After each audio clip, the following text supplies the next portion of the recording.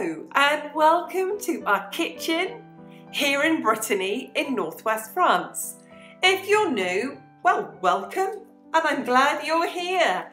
My name is Jane, my husband is Michael and he's behind the camera. We are early retirees in our mid 50s, retired and living in France and we live a really thrifty and frugal life and that includes being very thrifty with food in our kitchen. So let's take a look at what we cooked for you this week.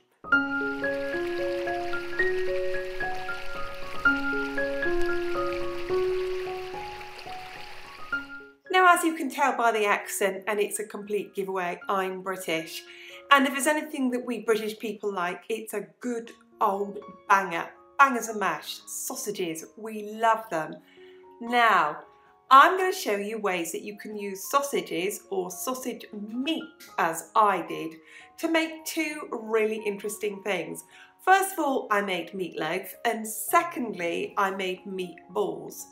Now, if you're in the UK, you can just buy sausages really cheaply. They already have an element of stuffing in them.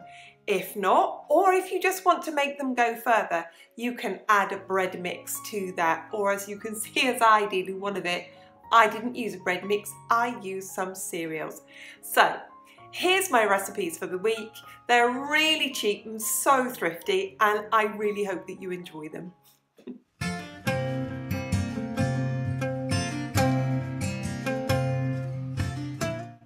Here's my really simple meatloaf.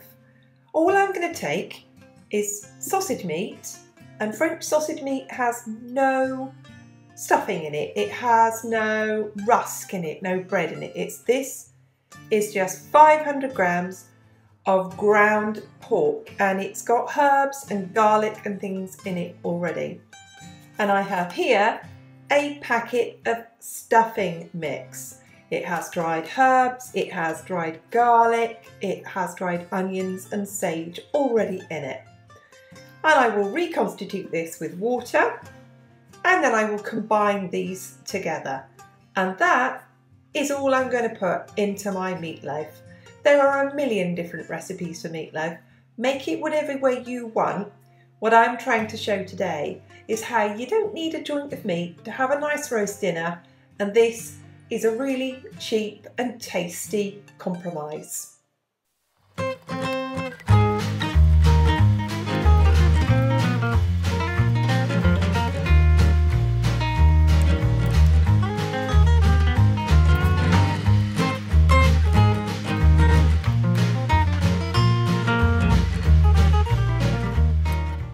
Now what makes a roast dinner so lovely are roasted potatoes.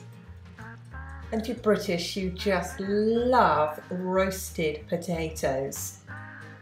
So, here are some potatoes. They are cooked all the way through, but they are not mushy. I'm going to add some oil, plenty of salt, toss them in the oil and salt, and then add them to a baking tray and stick them in a hot oven at 200 degrees C and they will go in with the meatloaf for between 40 minutes and an hour. And that's what I'm going to do.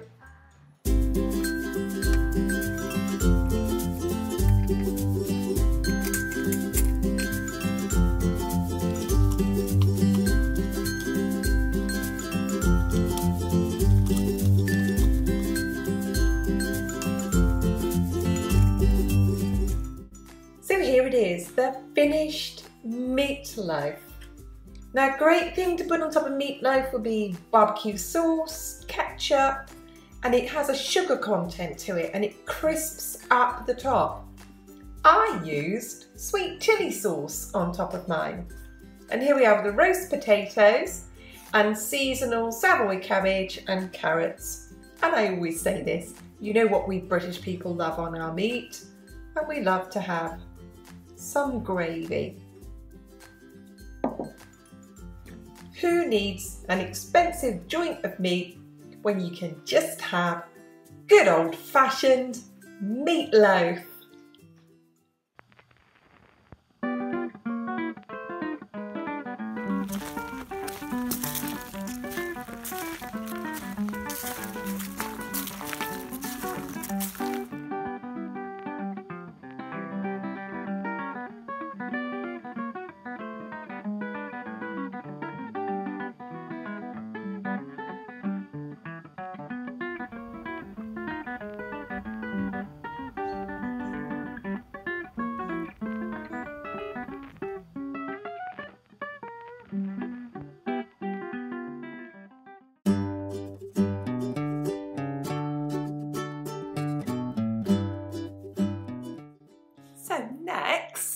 I'm going to share with you how I make my pork in a creamy, spicy and lemony sauce.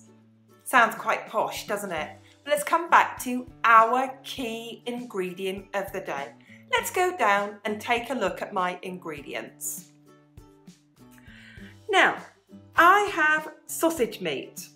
In the UK, you could use sausage meat, but by far cheaper would be if you just went and bought regular sausages and took the skins off them. Regular British sausages already has rusk in it. We would call that breadcrumbs.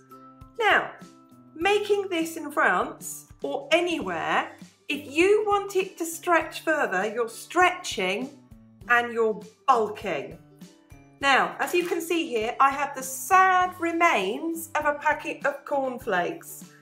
I'm literally going to bash these to pieces with a rolling pin and those are going to be my breadcrumbs. They're gluten-free. Now, you could use bought breadcrumbs. They're very cheap. Or you could take a loaf of bread, stick it in the oven till it goes dry, put it in the food processor and make your breadcrumbs.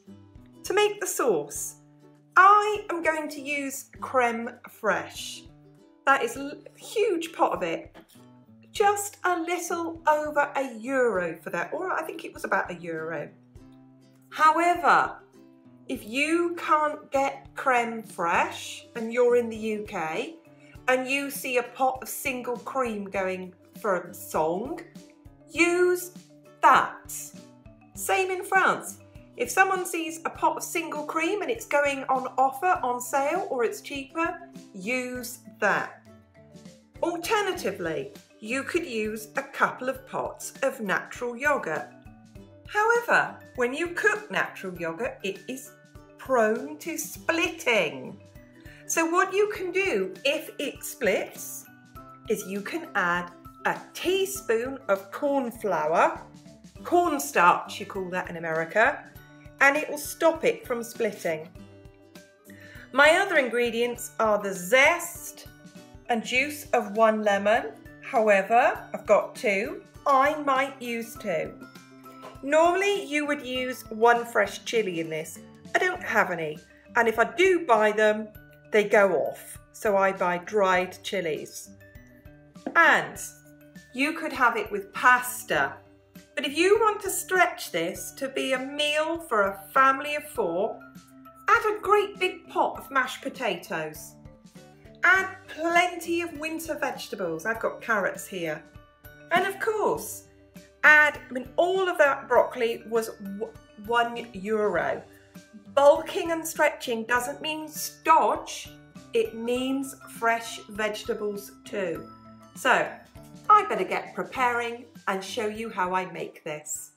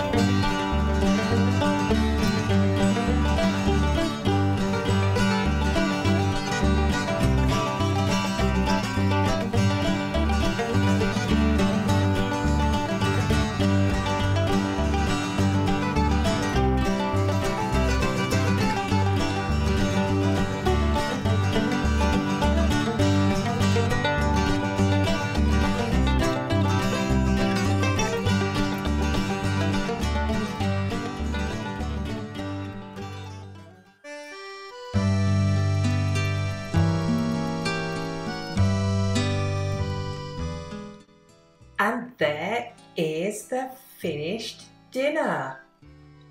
So I have made the meatballs and you saw me add some stock to that. My apologies, I didn't show you that.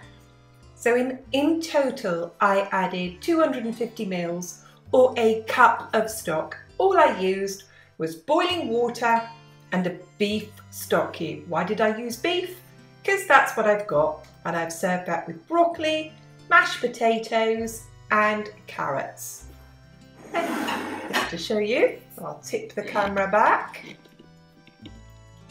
One, two, three, four dinners.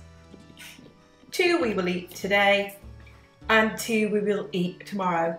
And it shows how you can make just one packet of sausages or one packet of sausage meat, feed four people. So there it is, pork with a spicy and lemony and creamy sauce.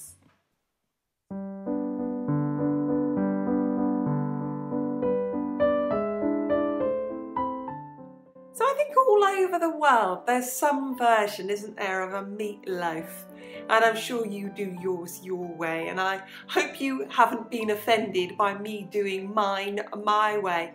I think all over the world people make some kind of meatballs in some way or another. And I'm sure all over the world you can buy either some kind of sausage meat or some kind of sausage. I know in the UK you definitely can there. So I really hope that you enjoyed those. They were very low cost. They really were an example of stretching and bulking and making a cheap ingredient go a very long way. Now, I love the sharing community that we have here. Tell me your favourite recipe either using sausages or sausage meat. And I'll tell you what, I'd love it if you could leave me a recipe I tell you what, I might even cook one of them one day. If you've enjoyed the video, go on, give it a like. Last of all, if you're not a subscriber, make sure that you hit the button and become a subscriber. And if you are a subscriber, make sure you hit that little notification bell so you don't miss our videos. We genuinely appreciate every one of you for dropping by to our little home and we'll see you again very soon. Bye for now.